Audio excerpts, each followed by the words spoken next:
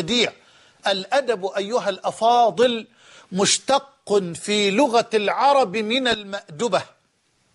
مأدبة؟ إيه اللي يا مولانا اللي دخل الأدب للأكل دلوقتي؟ ها؟ إيه اللي دخل الأدب للأكل؟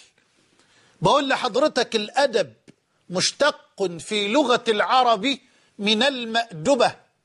أنت حضرتك طبعا عارف المأدبة.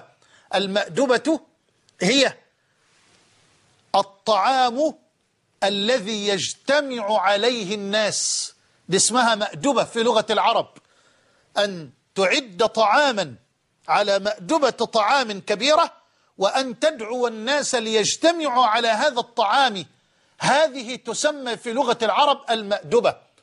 الأدب مشتق من المأدبة. اسمع. فكما سميت المأدبة كذلك لاجتماع الناس عليها ليأكلوا. كذلك الأدب هو اجتماع خصال الخير في العبد. الله الله الله الله. أظن مش مش هتنسى إطلاقا الأدب بعد ذلك لغة لأنه مرتبط بالطعام ونحن في الغالب لا ننسى طعامنا وشرابنا. أسأل الله أن يمتعنا وإياكم بالصحة والعافية. طب نرجع تاني للتأصيل اللغوي. نقول الأدب مشتق من المأدبة. المأدبة المائدة التي يوضع عليها الطعام ويدعى إليها الناس ويجتمع الناس على هذا الطعام. اسمها المأدبة. كذلك الأدب مشتق في لغة العرب من المأدبة لأن الأدب هو اجتماع خصال الخير في العبد. عشان كده اسمه عبد مؤدب. اجتمعت فيه خصال الخير من الحياء والمروءة. والشهامة والصدق والوفاء والإباء والرجولة والهمة والإرادة والإخلاص. اذكر ما شئت اذكر ما شئت وتكلم وعلى قدر أهل العزم تأتي العزائم وتأتي على قدر الكرام المكارم وتعظم في عين الصغير صغارها وتصغر في عين العظيم العظائم. ولله در المتنبي إذ يقول وإذا كانت النفوس كبارة تعبت في مرادها الأجسام. صاحب النفس الكبيرة يتعب بدنه. إي والله لا يعرف طعما للراحة لا يعرف طعما للنوم. لا يهدأ لا يقر له قرار ولا يقر له بال ولا يهدأ له بال. وإذا كانت النفوس كبارة تعبت في مرادها الأجسام. طب عرفت التأصيل اللغوي للأدب؟ طب نسمعه كم مرة ثالثة مولانا معلش حاضر. الأدب مشتق في لغة العرب من المأدبة والمأدبة هي الطعام الذي يجتمع عليه الناس وكذلك الأدب هو اجتماع خصال الخير في العبد. طيب تعال قف بقى كده على تعريف المؤدبين المؤدبين. الله الله الله. لمعنى الأدب.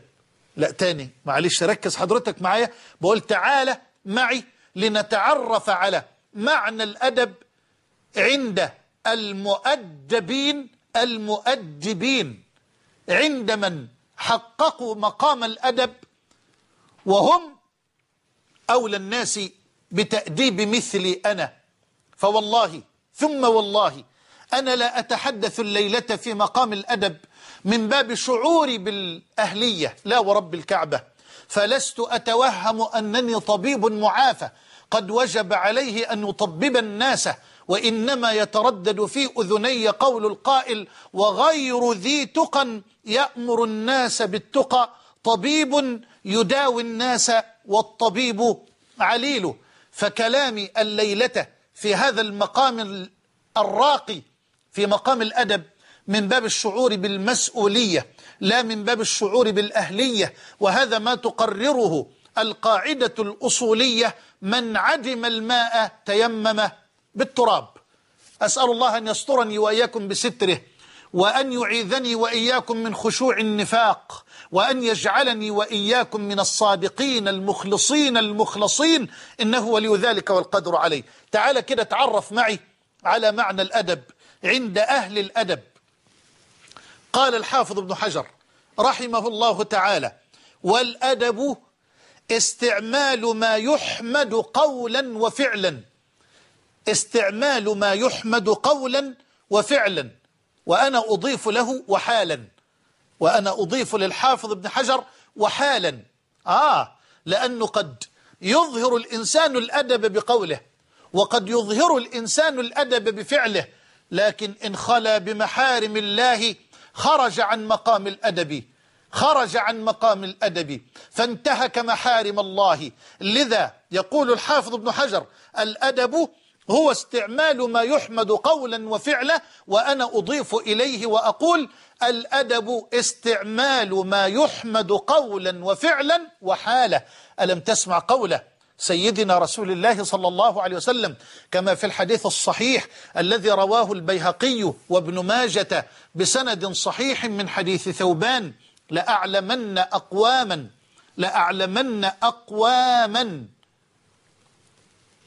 يأتون يوم القيامة بحسنات أمثال جبال تهامة بيضاء فيجعلها الله هباء منثورا. أما إنهم إخوانكم يصلون كما تصلون ويأخذون من الليل كما تأخذون. ولكنهم قوم إذا خلوا بمحارم الله انتهكوها. اللهم استرني وإياكم بستره الجميل. هذا أساء الأدب مع ربه. هذا أساء الأدب مع ربه جل وعلا. ليس مؤدبا لأنه استحيا من الخلق ولم يستحي من الخالق. راقب الخلق ولم يراقب الخالق. نظر إلى الخلق ونسي نظر الخالق جل وعلا إليه. نظر نسي نظر الرب إلى القلب. نسي نظر الرب إلى القلب إلى الحال. اللهم ارزقني وإياكم الإخلاص في الأقوال والأعمال والأحوال. قال الحافظ ابن حجر الأدب استعمال ما يحمد قولا وفعلا وأقول وحالا. وهو الأخذ بمكارم الأخلاق. الأخذ بمكارم الأخلاق. اسمع وقيل الأدب هو استعمال الخلق الجميل وقد بينت معنى الخلق وفضل الخلق ومكانة الخلق في دين الله جل وعلا. وقيل الأدب هو أن تعظم من هو فوقك وأن ترفق بمن هو دونك. شايف مصطلحات المؤدبين المؤدبين لمعنى الأدب. قالوا الأدب هو تعظيم من هو فوقك. أن تعظم شيخا كبيرا رئيسك في العمل والدك عالما من العلماء أخاك الأكبر